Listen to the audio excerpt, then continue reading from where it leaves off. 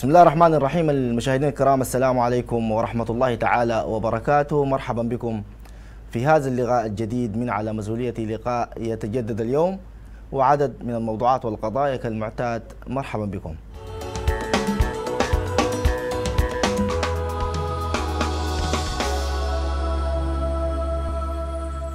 ما جاء في الأخبار عن الحوار وحوار الآلية الثلاثية آه، جاء اليوم أن البرهان رئيس مجلس السيادة اطلع على ترتيبات بدء الحوار المباشر المزمع انعقاده غدا الأربعاء.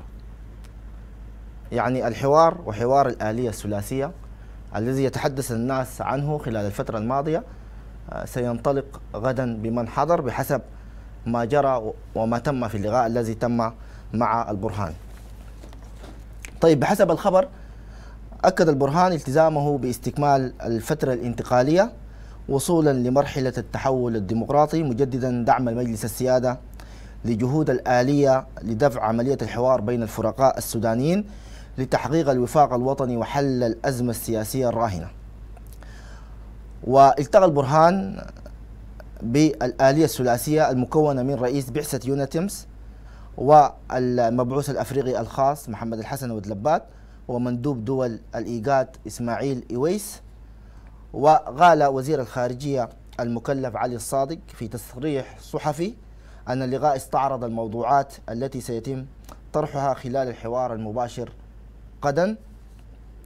والهدف من طرحها والمخرجات المتوقعة من الحوار وأشار إلى تنوير قدمته الآلية لرئيس مجلس السيادة حول سير ومجريات المشاورات خلال الفترة الماضية والخطوات الجارية في أعقاب في أعقاب إعلان بدء الحوار المباشر بين الفرقاء السودانيين. طيب الحوار المرتبط بالآلية الثلاثية التي يقف على رأسها فولكر بيرث ومبعوث الاتحاد الأفريقي آه، ودلبات ومبعوث الإيجاد إيويس الآلية وما جرى حولها وما ما قيل حولها التقت بالبرهان وواضح جدا أن البرهان بارك مزع الآلية الثلاثية. طيب سؤالنا من المتحاورون في هذه الآلية؟ يعني هذه الآلية لمن تطرح الحوار الآن. إذا كان غحت متبرئة من هذا الحوار إذا كان آه، مجموعة كبيرة من القوى السياسية وخارج القوى السياسية الحزب الشيوعي والأحزاب الأخرى كلهم تبرؤوا من هذا الحوار. إذا مع من ينعقد هذا الحوار؟ طيب نشوف موقف آخر. الموقف الآخر ده هو الذي أعلنته قوى الحرية والتغيير أعلنت برضو في تصريح صحفي آه، عبر الناطق الرسمي باسمها آه، شهاب إبراهيم. قال إنه أكد على عدم المشاركة مع الآلية الثلاثية في العمل الفني الذي دعت له. وقطع في في تصريح لصحيفة الجريدة نحن في الحرية والتغيير غير معنيين بقرارات الآلية. وتابع. طرحنا شكل محدد حول العملية السياسية وقضاياها وطرحنا في هذا الات... وطرحنا في هذا الاتجاه يتعارض تماما مع توجهات الآلية الثلاثية. إذا الحوار هذا ليس فيه المجموعات المرتبطة بقحط ولا التيار الإسلامي العريض ولا الحزب الشيوعي ولا أحزاب كبيرة جدا من القوى السياسية. والآن يبارك من رئيس مجلس السيادة في لقاء معلن. السؤال الحوار ده مطروح لمنو؟ ومع منو؟ ومن الذي يرعاه وما هي النتائج المتوقعة منه؟ إذا كان إعلان لمبادئ مبادئ حوار كان ممكن تكون مقبولة يعني. إنه في خارطة بتاع الطريق بترسم وبتعلن وبتعرض بتعرض. فكان ممكن تكون مقبولة. لكن أن تتم العملية بالشكل ده وكل القوى السياسية غالبية القوى السياسية خارج هذا الحوار يبقى ده تساؤل كبير جدا. هل في عمل؟ الآلية الثلاثية دي دايرة آه توضح للرأي العام ولجهات محددة إن هي في حوار معمول ويتم؟ هل مجلس السيادة والحكومة الموجودة دايرة تقول إنه برضه في حوار يتم حتى لو ما كان حقيقي؟ الواضح جدا إنه هذا الحوار ليس مقاطع من غالبية القوى السياسية إنما مرفوض من غالبية القوى السياسية غير موجودة فيه فهذا تساؤل كبير جدا جدا. في منحى آخر بالأمس كان الرئيس مجلس السيادة البرهان عبد الفتاح البرهان في آه، فعالية افتتاح الاسواق البيع المخفض. وحدث يعني موقف تداوله الناس أمس في نطاق واسع في إنه هي الكهرباء قطعت أثناء وجود رئيس مجلس السيادة. وحقيقة في ظل البرمجة والظروف المرتبطة بالكهرباء الفترة السابقة دي شيء طبيعي إنه الكهرباء تقطع لكن الطرفة في أنها قطعت في وجود رئيس مجلس السيادة وفي مكان آه، موجود فيه رئيس مجلس السيادة فده خلى الموقف آه، يعني يبقى آه، مختلف. الرئيس مجلس السيادة في أثناء كلامه في ال ال الافتتاح أو في الفعالية دي قال كلام الناس برضه يكفت فيه يعني. قال إنه لو قطعوا رقابنا سنظل أو قطعوا الكهرباء سنظل نعمل حتى آخر نفس لحماية هذا البلد. ومهما قالوا عننا كقيادة إننا ضعاف نحن بننظر بعيد للوطن وبنعلم الضغوطات والمعاناة التي يعاني منها الوطن. خلونا نشوف المقطع الذي تحدث فيه رئيس مجلس السيادة ثم نعود لنعلق عليه. الواطة ما حقت الجيش. والناس الشغالين دين ما حقين البرهان. نحن والواطة المقام عليها هذه الأسواق كلها حقت الشعب السوداني. وكلنا نحن كلنا نحن حقين الشعب السوداني. عشان كده نحن ما دارين نشكر أخواننا قاموا هذه الأسواق. اللي نحن نفتكر انها هي جزء يسير وعمل بسيط جدا نوفي به الدين. حق المواطنين على مؤسستهم العسكرية. لأنه هذه الأرض كما قلت أرض عسكرية والمنشآت المقامة عليها كلها عسكرية. نحن ما عملنا حاجة ولا قدمنا حاجة ولا جبنا حاجة من عندنا. الوضع دي حقة المواطنين ونحن حقين المواطنين. فنحن بنقول لهم نحن كلنا. كان قطعوا الكهرباء والله قطعوا رقابنا حنظل نعمل لآخر نفس. حنظل نعمل لآخر نفس في عمرنا عشان نحمي هذا البلد ونحافظ عليه. ما عندنا حاجة بنخاف منها ولا عندنا حاجة بنخاف عليها. لأنه شايفين قدامنا هدف واحد. مهما الناس تحدثوا ووصفوا بأوصاف إذا قالوا القيادة ضعيفة أو أي صفة نحن نقول له إحنا عندنا هدف. قاعدين نعاين له قدامنا السودان بأهله وبناسه الطيبين وبناسه اللي بيعاينوا لنا ومنتظريننا ننتشلهم كلنا ونمرقهم لأهدافهم الضحوا من أجلها سنين كلها. نحن دي فرصة أيضا نحيي فيها أهلنا في السودان في كل مكان. نعلم المعاناة ونعلم الضغوط اللي بيعيشوا فيها. ونعلم كل حال يمكن أن توصف به الأوضاع الحالية. لكن أنا ما أكرر أقوال من سبقوني؟ أقول أن نحن بقليل من الصبر بقليل من التأني بقليل من النظرة للوطن. سنتمكن من أننا ننجز شعارات الثورة. شعارات نحن كلنا نؤمن بها الحرية والسلام والعدالة. طيب هذا حديث البرهان رئيس مجلس السيادة في برنامج افتتاح آه، أسواق البيع المخفض اللي نفذتها القوات المسلحة بالأمس.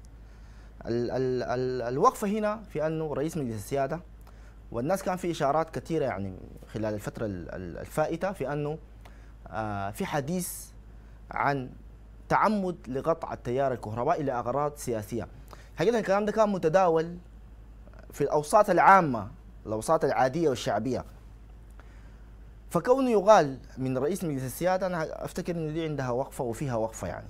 في إنه معناه الرواية دي حقيقية. أول حكومة وعلى رأسها الرئيس رئيس مجلس السيادة آه عندها علم إنه في عمل بيتم لوقف مسيرة البلد. ما هو قال إنتوا لو قطعتوا الكهرباء ولا قطعتوا رقابنا نحن حنستمر في حماية البلد. معناته هو بوجه رسالة لناس معينين.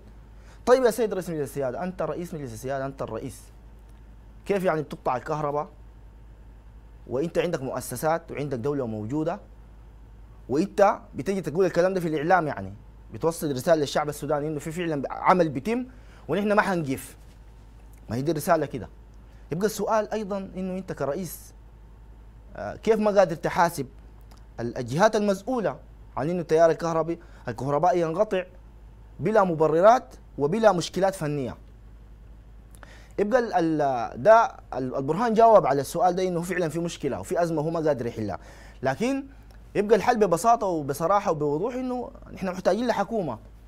محتاجين يكون في وزير طاقة وتعدين أو وزير كهرباء ومسؤولين ورئيس وزراء عشان يحاسب ويسأل ويحاسب ويسأل. دي نحن محتاجين لها الاثنين مع بعض. فدي ما موجودة. ما في حكومة. عشان كده رئيس مجلس السيادة الآن بيجي يشتكي للمواطنين إنه الكهرباء بتقطع وهو ما عارف وما عنده علم. فدي مأساة كبيرة جدا جدا. أفتكر إنها كانت في حديث البرهان بالأمس. طيب عندنا مشكلة أخرى. ومشكلة هي أصلا متواصلة. مشكلة الشرق أزمة الشرق شرق السودان. وشفنا العام الماضي لما تم إغلاق طريق الشرق لأكثر من شهر. وشفنا الخسائر الكبيرة جدا. اللي وصلت لمليارات الدولارات من إغلاق الميناء وطريق الشرق والأزمة الخانقة اللي دخل فيها السودان وتبعات الأزمة الاقتصادية اللي حتى الآن نحن بنعيشها. ودي حقيقة بسبب السيولة الأمنية لأنه بقى في السودان الفترة الأخيرة بتاخذ حقك بيدك. أهل الشرق والبيجا والمجموعات والنظارات معترضة على اتفاقية جوبا أو مسار الشرق في اتفاقية جوبا ورافضاه واتخذت مواقف سياسية. الكلام ده نظريا خطأ إنه في دولة مفترض إنها تكون دولة غابضة وقويه وتقدر تفرض حاجاتها. لكن في ظل الظلم وظل الهشاشة بقت تكفي للشارع. ما في الشرق بس حتى في حتات كثيرة في السودان يعني. بيغلق الطريق آه، وتحقق المطالب عبر هذه العمليات اللي بقت تتم يعني. فدي تمت في شرق السودان السنة اللي فاتت. وأثرت تأثير كبير. حتى الآن نحن نعيش آثار هذا التأثير الكبير آه، للأزمة التي تسبب فيها إغلاق الشرق. طيب تجددت الأزمة الآن وأهل الشرق والبجا بيقولوا إنه عندهم مطالب ما تحققت من العام الماضي وحيلجأوا لإغلاق آه، الطريق الرابط للمواني وطريق العقبة. إغلاق الميناء وطريق العقبة. بالتالي أنت شليت حركة السودان. مطالب إلغاء مسار الشرق اللي جاء في اتفاق جوبا. والغريبه برغم إنه القيادة الحاكمة متعاطفة أو متسايرة مع الاتجاه العام في الشرق لكن ما قادرة تلغي مسار الشرق اللي هو جاء في اتفاق جوبا اللي هي بيعتبروها فوق كل الاتفاقيات. وهي أز السبب الرئيسي في الأزمات الموجودة كلها في السودان الآن هي اتفاقية جوبا. في مطالبات ثانية باقاله الوالي الوالي عمر ادروب والآن آه، وأنا أتحدث الآن. سمعنا خبر أنه تم استقالة الوالي أو استقالة الوالي التي قدمها عبر ديوان الحكم المحلي ورفعت لمجلس السيادة. أنا أفتكر أنه آه، المطالب دي بتاعت الاتفاق الشرقي دي مشروعة يعني لأنه في إطار آه، عادي لأنه في مسارات أنت جيت أقحمتها لسلام دارفور أقحمت الشرق وأقحمت الوسط وأقحمت الشمال وعملت له مسارات وحددت له متحدثين باسمه بدون مشاور أهل القضية وأهل المصلحة الحقيقية. كان ممكن تقيم سلام لجوبا في اتفاقية جوبا لسلام دارفور. تحل مشكلة دارفور. بعد ذلك الناس يتحدثوا في إن الاتفاقية دي ظالمة للآخرين أو لا ده موضوع ثاني لكن اقحام الأقاليم الأخرى أنا أفتكر إن دي مأساة كبيرة. طيب. الآن تمت اقاله الوالي بحسب ما قيل يعني. أو بحسب التصريحات الأولية. الأسلوب ده مفترض إنه يتوقف. نحن ما دارين ابتزاز للدولة. أنا مع إنه آه، كامل يعني تعاطفنا مع أهل الشرق في في قضاياهم اللي بيطالبوا بها. واللي لأنه في أقاليم أخرى حققت بالسلاح وبالاتفاقيات وبالضغط حققت مكاسب كبيرة. فبالتالي ما بنقدر نقول لأهل الشرق أنتم ما تعملوا كده. من حقكم. لكن في في الدعوة العامة إنه يا إخواننا نحن دايرين نمشي لاتجاه دولة المؤسسات. يعني حق القلع ده ما دايرينه لكن المسألة دي بتقف على منه؟ بتقف على قيادة الدولة. إنه قيادة الدولة تتحرك في الاتجاه ده تفرض هيبة الدولة. تفرض العدالة. بالتالي اللي بيخرج عن العدالة والدولة يعني الدولة بالياتها تتخذ معه الاجراءات المناسبة. لكن الآن الدولة في حالة فوضى. العدالة مغيبة القانون مغيب. مظهر الدولة كده اللي انت بتحس انه دولة حقيقية ودولة عندها هيبة ودولة انت تخافها وتطمئن لها دي ما موجودة. فبالتالي بنشوف المظاهر دي. طيب خرج في الإعلام أيضا مالك عقار عضو مجلس السيادة وهو من المستفيدين من اتفاقية جوبا اللي اخذ ادته وضع بقى هو حركته حاكم الإقليم آه، النيل الأزرق وهو عضو مجلس السيادة وأخذ وزارات وامتيازات يعني هذه الاتفاقية التي أعطت الامتيازات للكثيرين. حقيقة مالك عقار هو عنده ال ال ال الدراية والدربه السياسية يعني بحكم الممارسة الطويلة هو قاتل ومارس سياسة يعني لكن لما يتحدث بتحس به هو عنده الوعي السياسي لكن في النهاية هو آه، عنده أساليب بيتخذ بها آه، الأشياء اللي هو عايزها يعني بيصل للحاجات اللي هو عايزها بأساليب محددة. طيب مالك عقار في حديث للشرق آه، وهي قناة الشرق في تصريحات كده شغلت الرأي العام يعني. وتحدث عن موضوع الشرق شرق السودان في قناة الشرق اللي هي ما عندها علاقة بشرق السودان يعني. فقال إنه اللي بيحدث في شرق السودان ده فوضى وغياب للدولة والمؤسسات. يعني الكلام ده قاله مالك عقار وبيقصد قضية الشرق وقال إنه المسار ده موجود آه، للشرق وليس لأشخاص فبالتالي هو بيطالب بانه المسار يمضي لأنه هو جزء من اتفاق جوبا فهم ما دارين يخسروا اتفاق جوبا. أنا أفتكر إنه الكلام ده رغم إنه فيه جزء من الصحة يعني لكن آه برضه في جانب من المغالطات وجانب من ال ال ال الأشياء اللي ممكن تؤدي إلى فتنة وصراع يعني باعتبار إنه الآن تقسم السودان. هو بيتحدث عن النيل الأزرق أنتوا ليه تكفلوا الشرق؟ نحن ما نكفل النيل الأزرق وهكذا. فهي أزمة. خلونا نستمع لمالك عقار ثم نعود. اتفاق جوبا ومسار الشرق حتى ولو مشوا لأي اتفاق ما حيجيبوا أكثر من الاتفاق الشرق جابوا لهم. في النهاية اتفاق الشرق ده لشرق السودان وليست لمجموعة معينة في شرق السودان. حتى تقسيم السلطة فيها وتقسيم الثروة فيها لشرق السودان. لكن أنا بشعر بانه العملية بتاع شرق السودان هي مسيسة ولأغراض آه، سياسية ويمكن تكون في جهات نافذة واقفة وراء الكلام ده. لأنه يعني لا يعقل أنه مثلا آه، ناظر يكفل آه، بور السودان ويكفل الخط القومي وفي دولة محترمة وفي دولة عندها يعني هيبتها دي ما بتحصل طبعا. إيه، معناتها ده بيوحي أنه يعني قد تكون في في في يعني لعبة سياسية ولا الحاجة اللي حاصل كله. أنا ما بؤمن بأنه ده يعني بيجي جاي كده من من فراغ ولا جاي من أنه شرق السودان خلاص هم يعني طيب الكلام ده ممكن كان يحصل في النيل الأزرق ممكن يحصل في دارفور ممكن يحصل في غرب كردفان ممكن يحصل في الحتات دي. ليه بالتحديد بيحصل في شرق السودان؟ وما في يعني ما في قرار ضد يعني لبسط هيبة الدولة في في شرق السودان.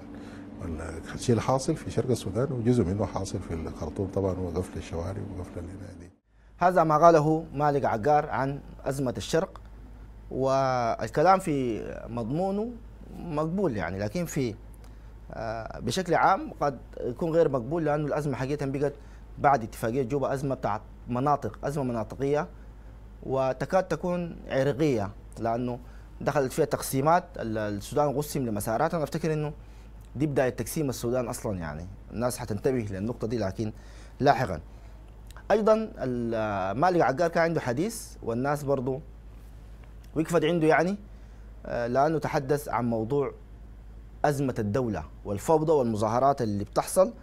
وقال إنه ما يحدث في السودان الآن هو فوضى وإرهاب وليس ثورة. آه وشبه الموجودين في الشارع بأنهم أطفال آه، دون السن القانونية ومكانهم المدارس ومكان الألعاب وليس الشوارع لفرض واقع وأجندة سياسية وقال إن هم ما عندهم التصور السياسي أصلا عشان يخرجوا ويقفلوا الشوارع وكذا خلونا نشوف مالك عقار ثم نعود مرة أخرى. اللي بيحصل حسي في السودان ده فوضى وإرهاب ضد الدولة. أنا ما بسميها ثورة. ده فوضى وارهاب ضد الدولة.